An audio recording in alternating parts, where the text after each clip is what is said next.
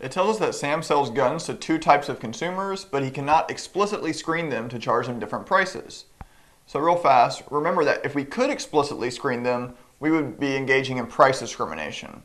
That was when we had senior citizens and young kids coming to the movie theater and we literally checked their ID and charged them different prices because that checking of their ID was our way of explicitly screening them. Well, now we just know that there's two types of customers one that really likes our product and one that kind of likes our product. So there's a high demand consumer and a low demand consumer. We can't explicitly screen them, so we need to build our bundles in order for them to screen themselves into their by buying the package that's right for them. So anytime you go to Sam's and you buy a huge bundle of something, you're probably the high demand consumer in that case. At the register, there may there may be that same single pack of gum well, the low demand consumer is going to buy that single pack of gum opposed to going to the aisle and buying that huge uh, case of several packs of gum. So, this is what uh, menu pricing is all about. We're going to design bundles and price those bundles accordingly in order to um, let the high demand consumer pick into his bundle, and the low demand consumer will still buy the single pack or um, the smaller bundle. It tells us how much profit can Sam make by implementing optimal menu pricing. So we're just going to be finding his profit in this case, but it's a pretty long problem. There's a lot of math steps, so be careful. In all these problems, we're going to be doing participation constraints and selection constraints. So get used to those and recognizing those and knowing how to talk about them. Well, step one in this case is to find out who the high demand consumer is. Who likes the product more? Well, this first guy likes it every unit he um, consumes gives him 18 to the 0.5. Well, the next guy likes it 8 to the 0.5 for every one unit he cons- consumes. So I like to pick the number 1 because it just makes it easiest. But what you want to do is just plug in a number to the value functions and figure out who gets the most value out of the product. Well, in this case, it's kind of uh, easy to see. The first guy gets 18 worth of value if we plug in just one unit. The second guy gets eight worth of value if we plug in just one unit. So the first guy, um, he's the high demand consumer. There's 10 of those guys. There's 25 low demand consumers, and that's V2. That's the second guy. So now that we've done that, step two is to write out our constraints. Well, again, like I said, we have a participation constraint and a selection constraint. The participation constraint in menu pricing is aimed at the low demander because the high demander, we're not concerned with him participating in buying our product. He loves our product. But the low demand guy, we want to convince him to buy just the smallest unit of our product. So we need to make the value he gets out of that product greater than or equal to the price he paid for it. Again, we're going to always set these equal because we assume if they are equal, he will in fact purchase it. But think about it as greater than or equal to. It'll help you really understand. Well, in this case, we can plug in his value function, which is 8q2 to the 0.5. That must be, we're going to go ahead and set it equal to the price of that smaller package. So Q2 in this case represents, just for um, simplicity's sake, let's say that single pack of gum, right? And then Q1 is going to represent that big box of a lot of packs of gum. So P2 represents the price of that single pack of gum or the small bundle. And P1 in this case represents the price of that big box of gum, which is the big bundle. Well, now let's take a look at the selection constraint. This is aimed at the high demander because the participation constraint just convinced the low demander to buy that single pack of gum. Well, the selection constraint is going to convince that high demander to select between the low pack of gum and the big pack of gum. So the low bundle, the small bundle, and the big bundle, we're going to convince him to select the big bundle. We do this by making the value he gets out of purchasing the big bundle relative to the price greater than the value he gets out of purchasing the small bundle relative to the small bundle's price. So we can plug in our numbers here. Now be very careful to understand this. The value he gets is represented by that 18.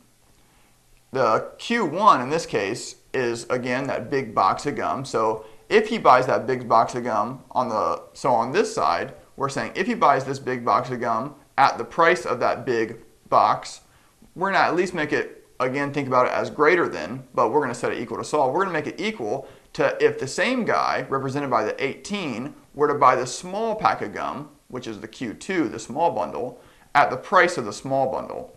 So we're going to make the value he gets out of purchasing the big bundle greater than the value he gets out of purchasing the small bundle. Again, setting him equal to solve, but think about it as greater than. Step three is write out the profit for the firm. So profit, we need to um, kind of forget what we know about profit, profit as far as marginal cost times quantity and price times quantity and all that good stuff. Now we're just going to think about what profit would be like for the firm. Well, remember there's 10 high demand consumers. What does the firm get out of them? Well, they charge them a price of P1 and it costs them, well, we know that the marginal cost is 2 per unit, 2 per pack of gum, $2. So on this side we have the price for the big pack of gum minus the marginal cost times how many units. Q1 was the big box. And then on this side we have 25 low demanders. We're going to be charging them a price for the small pack of gum, and they're going to be getting the, the margin, they're going to be costing the firm $2 per small pack of gum. So that's how we set up profit. Make sure that you're comfortable with this because from now on we're going to see profit in a couple of different ways. We have to be creative in um, thinking about it and just make it simple. So from here, we need to use our constraints, but we know that this is our first constraint, our participation constraint. This is our selection constraint.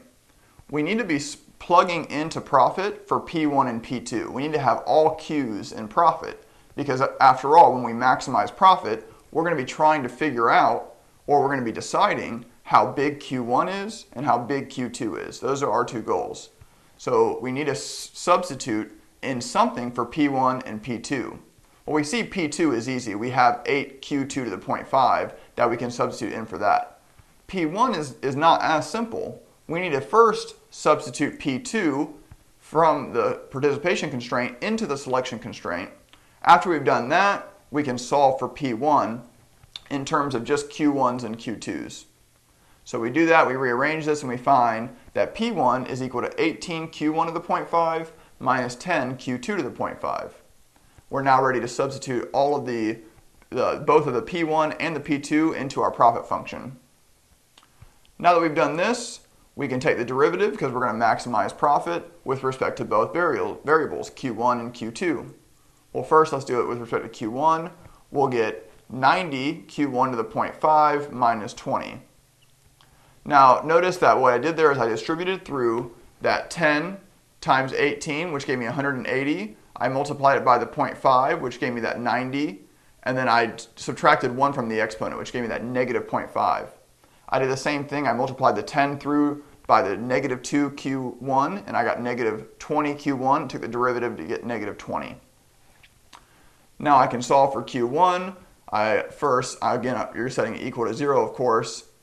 And we know that in the future I'm going to do this as a shortcut, but first I want to show you that that negative 0.5 could be a positive 0.5 on the bottom, so that Q1 raised to the negative 0.5 could be 90 over Q1 raised to the positive 0.5. I could then cross multiply and divide through by 20 and solve for Q1 and square it. And I get that Q1 is equal to 20.25. So now I can do the derivative with respect to Q2 I get, well now, be careful, there's not only a Q2s over on this side, but there's also a Q2 over here. So that first one, that'll be negative 100 because you have to distribute through that times 10. Negative 100 times 0.5 is negative 50. You make it negative, uh, raise to the negative 0.5 again, you drop 1 off the exponent.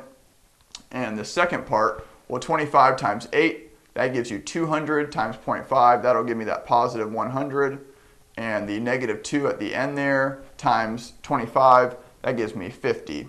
So again, I set that equal to 0, and now I can combine like terms. And I solve for Q2 in this case to be equal to 1. So real quick before we answer the question, let's take a look at what we did. We found Q1 and we found Q2. Well, again, I want to draw you a little picture to make this easy to think about. Q1 represents that big box of gum with several packs of gum in it. Now I drew 8 here, but just think about it, it's really 20.25. Well, Q2 represents that single pack of gum. To find the price of the, of the first package, we already found that through the constraint, we would just plug in Q1 everywhere we see it. and we'd have to plug in Q2 also. Notice that the, the big package's cost, or the big package's price, which is the cost to the consumer, that depends on the small package's quantity, which is important to understand. And the price for the smaller package, P2, we know that that just depends on the quantity of the smaller package, Q2. To find profit, we're going to plug Q1 and Q2 everywhere we see it in our profit function and solve. And in this question, that's all he asked us to do, was to find the profit if we successfully engaged in menu pricing.